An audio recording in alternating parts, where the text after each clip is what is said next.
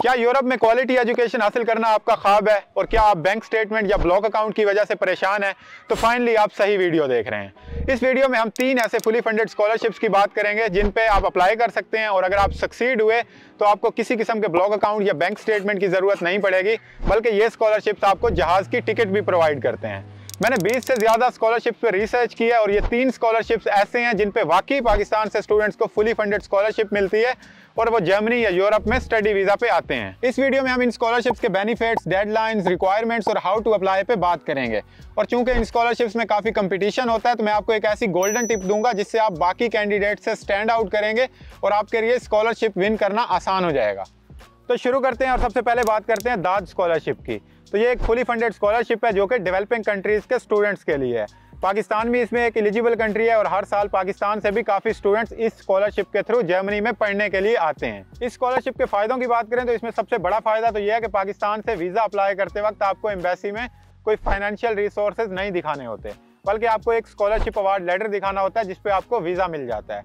इसके अलावा इसमें एयर टिकट भी आपकी इंक्लूड होती है और यहाँ पे जर्मनी में आने के बाद मास्टर्स के स्टूडेंट्स के लिए 934 यूरो पर मंथ और पीएचडी वाले स्टूडेंट्स को 1200 यूरो पर मंथ मिलते रहते हैं कंप्लीट डिग्री ड्यूरेशन के लिए। बेनिफिट्स तो पता चल गए, अब ये देख लेते हैं कि इसमें कौन से डिग्री प्रोग्राम्स या कोर्सेज अवेलेबल होते हैं। तो डिग्री प्रोग्राम्स की बात करें तो इसमें डिफरेंट फील्ड्स अवेलेबल होती हैं, जिस तरह के business administration economics engineering management media sciences agriculture medicine natural sciences इस तरह की फील्ड्स अवेलेबल होती हैं। इस वीडियो की डिस्क्रिप्शन से आपको एक कंप्लीट लिस्ट मिल जाएगी, जिसमें आपको ये सारे डिग्री प्रोग्राम्स मिल जाएँगे। और अगर डेडलाइंस की बात करें तो हर प्रोग्राम की डिफरेंट डेडलाइन होती है। डिग्री प्रोग्राम्स की तो बात हो गई, मगर ये भी तो देखें कि इसमें असल में अप्लाई कौन कर सकता है। तो इसमें अप्लाई करने के लिए आपके पास कम अज़ कम 16 ईयर्स ऑफ़ एजुकेशन होनी चाहिए। अगर आप इंग्लिश स्टार्ट प्रोग्राम में पढ़ने के लिए आ रहे हैं तो आपके पास कम अज़ कम सिक्स बैंड्स आइट्स के होने चाहिए। और जर्मन की कोई रिक्वायरमेंट नहीं है। इसके अलावा स्कॉलरशिप में अप्लाई करने के लिए उम्र की भी कोई कैद नहीं है, लेकिन आपकी लास्ट डिग्री छः साल से ज़्यादा पुरानी नहीं होनी चाहिए। इसके अलावा ग्रेड्स की बात करें तो इसमें अबव एवरेज ग्रेड्स वाले लोग अप्लाई कर सकते हैं, यानी कि 3.3 या 3.4 से अबव वाले लोग इस स्कॉलरशिप में अप्लाई कर सकते हैं। अगर आपने ऑलरेडी एक मास्टर्स किया हुआ है तो आप सेकेंड मास्टर्स के लिए भी इसमें अप्लाई कर सकते हैं। और लास्ट रिक्वायरमेंट ये है कि इसमें आपको दो साल का कम अज़ कम रेलिवेंट वर्क एक्सपीरियंस होना चाहिए। अगर आप इस स्कॉलरशिप की रिक्वायरमेंट्स पे पूरा नहीं उतरते और अप्लाई नहीं कर सकते तो हमारे पास दो और स्कॉलरशिप्स भी हैं जिनमें रिक्वायरमेंट्स ज़्यादा आसान है। तो लेट्स सपोज़ कि आप ये सारी रिक्वायरमेंट्स पूरी कर सकते हैं और अब आप सोच रहे हैं कि अप्लाई कैसे करना है। तो अप्लाई करने के लिए कोई दाद का सेंट्रल एप्लीकेशन पोर्टल नहीं है, बल्कि आपको इंडिविजुअल वेबसाइट पर चेक करना है कि एप्लीकेशन का प्रोसीजर क्या है। तो अब आपने करना क्या है? आपने इस वीडियो की डिस्क्रिप्शन में जाना है और वहाँ से आपको एक लिस्ट मिल जाएगी। उस लिस्ट में सारे प्रोग्राम्स दिए हुए होंगे और उनकी डेडलाइन भी दी हुई होगी। तो जिस प्रोग्राम में आपने अप्लाई करना है, आपने उस लिंक पे क्लिक करना है। वो आपको ऑफिशियल वेबसाइट पे ले जाएगा और ऑफिशियल वेबसाइट पे जाने के बाद आपको डेडलाइन पता चल जाएगी। आपको ये भी पता चल जाएगा कि रिक्वायरमेंट्स क्या हैं और साथ में एप्लीकेशन का प्रोसीजर भी पता चल जाएगा।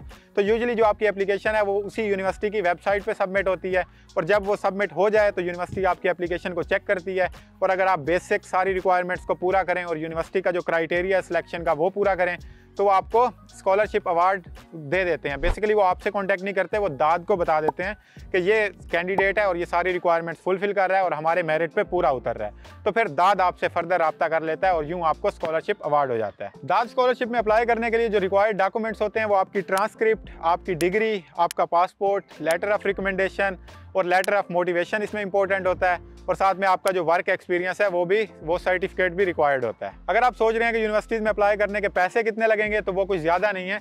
कुछ यूनिवर्सिटीज़ के अंदर ये एप्लीकेशन फ्री में आप सबमिट कर सकते हो और कुछ यूनिवर्सिटीज़ के अंदर 25 या 30 यूरो लगते हैं आपकी एप्लीकेशन सबमिट होने के लिए।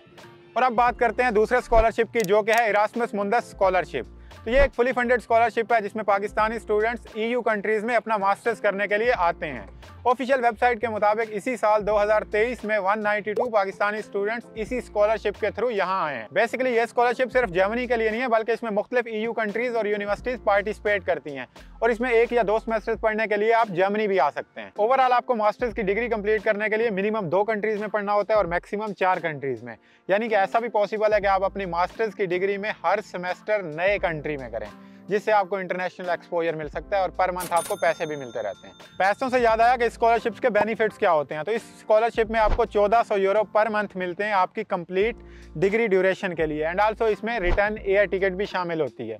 और रिटर्न एयर टिकट का ये मतलब नहीं है कि आपको यहाँ पर डिग्री कंप्लीट करके हर सूरत वापस जाना है। बल्कि यहाँ पे जब आप यूरोपियन डिग्री ले लेते हैं तो कंट्रीज़ में यहाँ डिफरेंट रूल्स होते हैं। फॉर एग्जांपल जर्मनी में ये रूल है कि अगर आप यहाँ से डिग्री करते हैं तो उसके बाद आपको 18 महीने का जॉब सर्च वीज़ा मिलता है। तो इसी तरह जिन भी कंट्री से आप करते हैं, आप वहाँ पर जॉब सर्च वीज़ा अप्लाई कर सकते हैं, जिसमें आप जॉब सर्च करके यहीं पर सेटल हो सकते हैं। अच्छा आप बात कर लेते हैं कि इसमें फील्ड्स कौन सी अवेलेबल होती हैं। तो जब हमने प्रीवियस दाद स्कॉलरशिप की बात की थी तो उसमें काफ़ी कम फील्ड्स अवेलेबल थी एंड आल्सो आईटी की उसमें फील्ड्स नहीं अवेलेबल थी आईटी के प्रोग्राम्स अवेलेबल नहीं थे।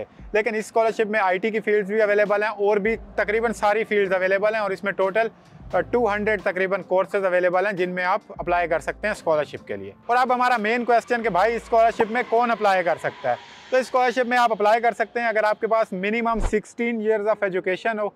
इसके अलावा मिनिमम सी रिक्वायरमेंट कोई नहीं है। अगर आपके पास कम सी हो तो भी आप अप्लाई कर सकते हैं, लेकिन ऑफ़ कोर्स अगर आपके पास हाई सी है तो आपके चांसेस ज़्यादा होंगे। इसके अलावा वर्क एक्सपीरियंस की भी कोई रिक्वायरमेंट नहीं है, लेकिन relevant work experience always plus consider किया जाता है। आइट्स की बात करें तो आइट्स एक हार्ड रिक्वायरमेंट नहीं है, कुछ कोर्सेज में ये रिक्वायर्ड है और कुछ कोर्सेज में रिक्वायर्ड नहीं है। लेकिन आइट्स ऑलवेज रिकमेंडेड है ताकि आपके चांसेस ज़्यादा बढ़ जाएँ और आप ज़्यादा कोर्सेज में भी अप्लाई कर सकें। एंड ऑल्सो अगर आपने एक मास्टर ऑलरेडी किया हुआ है तो आप सेकेंड मास्टर्स के लिए भी अप्लाई कर सकते हैं। लेकिन of course you should have a reason कि आप सेकंड मास्टर क्यों करना जा रहे हैं और पहला मास्टर या पहला बैचलर जो है वो आपके इंटेंडेड मास्टर से किस कदर रिलेटेड है। अच्छा आप ये देख लेते हैं कि इस इरासमस मुंदस स्कॉलरशिप के लिए अप्लाई कैसे करना है। तो आप ऑफिशियल वेबसाइट पे जाएँगे लिंक इन डिस्क्रिप्शन अपने कोर्स का नाम या कीवर्ड लिखेंगे और आपके सामने रिलेटेड कोर्सेज आ जाएँगे। तो आपने अपने डिज़ायर्ड कोर्स की वेबसाइट पर क्लिक कर देना है। वहाँ से आपको डेडलाइन का पता चल जाएगा स्कॉलरशिप के दौरान पर मंथ पैसे कितने मिलेंगे ये पता चल जाएगा और मज़ीद आपको ऑनलाइन अप्लाई करने का लिंक भी मिल जाएगा।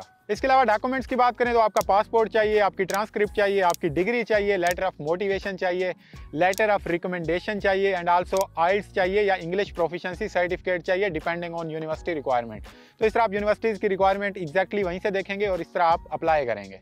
और अब आखिरी स्कॉलरशिप की बात करते हैं जो कि है स्टीपेंडियम हंगेरिकम स्कॉलरशिप ये एक फुली फंडेड स्कॉलरशिप है और बहुत इंपॉर्टेंट स्कॉलरशिप है क्योंकि इसके अंदर बैचलर्स के लिए भी आप अप्लाई कर सकते हैं मास्टर्स के लिए भी अप्लाई कर सकते हैं और पीएचडी के लिए भी अप्लाई कर सकते हैं। एंड आल्सो इसमें रिक्वायरमेंट्स बहुत लीनियंट हैं। लाइक अगर आपके पास CGPA कम हो तो भी आपके पास एक यूनिक अपॉर्चुनिटी होती है स्कॉलरशिप को विन करने के लिए। और आल्सो इसमें वर्क एक्सपीरियंस भी रिक्वायर्ड नहीं होता आइट्स भी most of the time required नहीं होता। I also won this scholarship in 2018 जब मैंने बैचलर्स के लिए अप्लाई किया था तो मैंने कोई आइट्स नहीं किया था टेस्ट दिया था और मेरे मार्क्स थे। And I was able to won this scholarship और पाकिस्तान से तकरीबन हर साल 200 से ज़्यादा लोग इस स्कॉलरशिप के थ्रू जाते हैं। एंड आई डोंट थिंक कि किसी और स्कॉलरशिप पे इतनी ज़्यादा तादाद में पाकिस्तान से स्टूडेंट्स जाते होंगे। आल दो ये स्कॉलरशिप जर्मनी के लिए नहीं है। ये स्कॉलरशिप बेसिकली हंगरी के लिए है और आपका कंप्लीट जो स्टडी है वो हंगरी के अंदर होती है। लेकिन वंस आप हंगरी पहुँच जाएँ और फुली फंडेड स्कॉलरशिप पर पहुँच जाएँ तो वो भी यूरोप का पार्ट है। और आप इनिशियल डिग्री वहीं से करके जर्मनी में या किसी और कंट्री में मूव हो सकते हैं, जो कि ज़्यादा आसान है। इसकी नस्बत के पाकिस्तान से आप, आपके पास पैसे ना हो और आप डायरेक्ट जर्मनी ना आ सकते हो या किसी और कंट्री में ना जा सकते हो तो इनिशियल स्टेप के लिए ये काफ़ी अच्छा स्कॉलरशिप है। इस स्कॉलरशिप के बेनिफिट्स की बात करें तो आपकी इसमें हेल्थ इंश्योरेंस कवर्ड होती है हंगरी पहुँचने के बाद।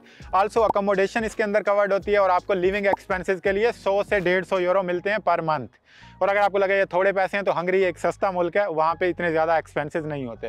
लेकिन अगर आपके ज़्यादा एक्सपेंसेस हो इससे तो आप वहाँ पे पार्ट टाइम जॉब करके भी कमा सकते हैं। इसके अलावा रिटर्न एयर टिकट जो है वो भी इसके अंदर कवर्ड होती है। आल शुरू में आपको पैसे नहीं मिलते, शुरू में आपको खुद पैसे लगा के जाना होता है और बाद में वो पैसे रीम्बर्स हो जाते हैं। अगर बात करें कि कौन अप्लाई कर सकता है तो इसमें बारह साल की एजुकेशन के बाद भी आप अप्लाई कर सकते हैं, सोलह साल की एजुकेशन के बाद भी और अठारह साल की एजुकेशन के बाद भी आप अप्लाई कर सकते हैं। इसमें मिनिमम मार्क्स या सीजीपीए कोई रिक्वायर्ड नहीं है, किसी के साथ भी आप कर सकते हैं, बाद में मेरिट बनेगा। इसके अलावा वर्क एक्सपीरियंस भी रिक्वायर्ड नहीं है, जो आइल्स है वो आपकी यूनिवर्सिटी पर डिपेंड करता है कि यूनिवर्सिटी आपको इंग्लिश प्रोफिशेंसी सर्टिफिकेट पर दे रही है एडमिशन या नहीं। और काफ़ी सारी यूनिवर्सिटीज़ हंगरी की ऐसी हैं जो कि इंग्लिश प्रोफिशेंसी पे दे देती हैं आइल्स रिक्वायर नहीं करती, लेकिन आपने अपनी प्रोफेशन के लिए चेक करना है। और बाकी प्रोफेशंस की बात करें फील्ड्स की बात करें तो इसमें डिफरेंट फील्ड्स अवेलेबल हैं इन्फॉर्मेशन टेक्नोलॉजी कंप्यूटर साइंस भी अवेलेबल है इंजीनियरिंग भी अवेलेबल है मेडिसन भी अवेलेबल है, और भी काफ़ी सारी फील्ड्स अवेलेबल हैं, जो कि आपको डिस्क्रिप्शन से मिल जाएँगी। इस स्कॉलरशिप का सिलेक्शन क्राइटेरिया देखें तो आपके मार्क्स या सी जी पे डिपेंड करता है। इसके अलावा एच e एक टेस्ट कंडक्ट करती है। उस टेस्ट में आपके कितने मार्क्स आते हैं, ये डिपेंड करता है। इसके अलावा लेटर ऑफ़ मोटिवेशन पे ये काफ़ी डिपेंड करता है। और इसके अलावा कोटा पे भी डिपेंड करता है, क्योंकि रीजनल कोटा होता है। पंजाब के लिए कुछ सीट्स होती हैं, कुछ बलोचिस्तान के लिए, कुछ कराची मतलब सिंध के लिए। तो ये वाला सिलेक्शन क्राइटेरिया होता है और ओवरऑल इस पाकिस्तान से तकरीबन दो सौ लोग जाते हैं बैचलर मास्टर और पीएचडी करने के लिए। अगर रिक्वायर्ड डॉक्यूमेंट्स की बात करें तो इसमें लेटर ऑफ़ रिकमेंडेशन चाहिए होता है लेटर ऑफ़ मोटिवेशन मोटिवेशन चाहिए होता है, आपका पासपोर्ट या सीएनआईसी चाहिए होता है एंड आल्सो इसमें आपका मार्कशीट या ट्रांसक्रिप्ट चाहिए होती है। और अच्छी बात यह है कि इसमें अगर आपकी डिग्री कंप्लीट नहीं है तो स्टिल आप अप्लाई कर सकते हैं और बाद में इनको अपनी फाइनल मार्कशीट या फाइनल ट्रांसक्रिप्ट दे सकते हैं। इसके अलावा एक मेडिकल सर्टिफिकेट भी इसमें चाहिए होता है, जो कि इतना कोई हैवी नहीं होता, बस डॉक्टर से साइन वगैरह करा के अपलोड कर देना होता है कि आपको कोई हैवी किस्म वाली बीमारी नहीं है। और अगर लास्ट में हम डेडलाइन की बात करें तो ये ये स्कॉलरशिप एक यूनिक स्कॉलरशिप है, जिसकी एक दफ़ा ही डेडलाइन होती है पूरे साल में। अनलाइक हमारे पिछले दो स्कॉलरशिप्स की तरह। तो इसमें जो फाइनल डेडलाइन होती है, वो वन जन पंद्रह जनवरी होती है, जो कि अभी आ रही है। इसका मतलब पंद्रह जनवरी दो हज़ार चौबीस, इसकी डेडलाइन होगी। तो अभी टाइम इसमें पड़ा है थोड़ा सा आप अपने डॉक्यूमेंट्स तैयार कर लें एंड आल्सो डिटेल्स भी देख लें, जो कि लिंक मैंने डिस्क्रिप्शन में दिया हुआ है। एंड आल्सो इफ़ नीडेड हम इस पर एक अलग वीडियो भी बना सकते हैं कि स्कॉलरशिप को वन कैसे करना है टेस्ट की कैसे तैयारी करनी है। या फिर और सारे एस्पेक्ट तो हम एक डिटेल में भी वीडियो बना सकते हैं इफ़ यू से अच्छा आप गोल्डन टिप की बात करते हैं तो जिस तरह हमने स्कॉलरशिप्स को देखा और उनका सिलेक्शन क्राइटेरिया भी देखा तो मोस्ट ऑफ़ द टाइम जो स्कॉलरशिप्स पे सिलेक्शन होती है, वो दो चीज़ों पर होती है, एक सी पे और दूसरा मोटिवेशनल लेटर पे। अब सी या जो हमारे मार्क्स हैं, उनको तो हम कम ज़्यादा नहीं कर सकते, लेकिन जो लेटर ऑफ़ मोटिवेशन है, उसको हम अच्छा लिख सकते हैं। और अच्छा मोटिवेशनल लेटर लिखने के लिए बहुत सारे एस्पेक्ट होते हैं, लेकिन एक कीवर्ड जो आपने याद रखना है मोटिवेशनल लेटर लिखने के लिए, जो आपको आगे हेल्प करेगा और हर जगह हेल्प करेगा, वो है रेलिवेंसी तो रेलिवेंसी का कीवर्ड आपने याद रखना है और अपने मोटिवेशनल लेटर में हमेशा ये इंक्लूड करना है कि आपका जो प्रीवियस स्टडी थी वो कैसे रेलिवेंट है, आपकी इंटेंडेड स्टडी से। तो स्कॉलरशिप्स पे काफ़ी ज़्यादा कंपटीशन होता है और वो इस चीज़ को ख़ास तौर पे देख रहे होते हैं कि इनका प्रीवियस इस फ़ील्ड के साथ क्या कनेक्शन है। तो अगर आप ये करने में कामयाब होता, हो जाते हैं तो होपफुली आप स्कॉलरशिप विन करने में कामयाब हो जाएँगे। तो ये थी सारी वीडियो और अगर इस वीडियो से आपकी थोड़ी सी हेल्प हुई हो तो please like this video and subscribe the channel and I wish you all the best